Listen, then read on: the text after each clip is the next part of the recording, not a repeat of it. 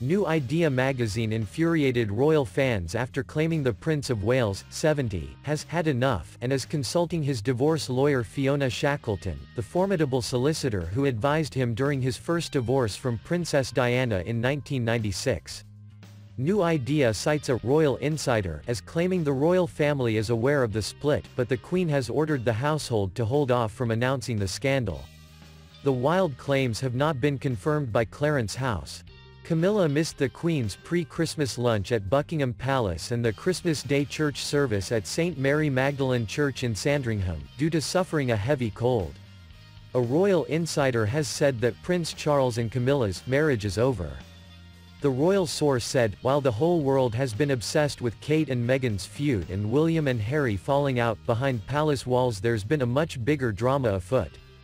It's believed that Charles and Camilla are set to announce their divorce imminently. They've already signed the papers and have barely seen each other in recent months, apart from Charles's 70th birthday event, which the Queen made Camilla attend to avoid speculation. The palace reported that Camilla had a cold, which is why she missed the Queen's festive gathering, but Charles was telling everyone on the quiet that they're no longer together. Camilla, 71, also missed Princess Eugenie's wedding to Jack Brooksbank in October.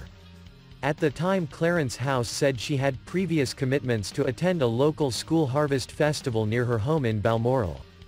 The magazine added that despite the Prince of Wales's apparent openness about the end of his marriage among the family, the Queen is keen to keep the news under wraps.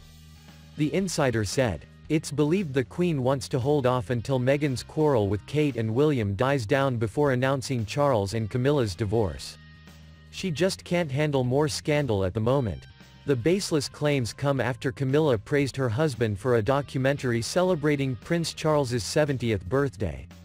She described the future king as a kind and exceptional man in the intimate documentary.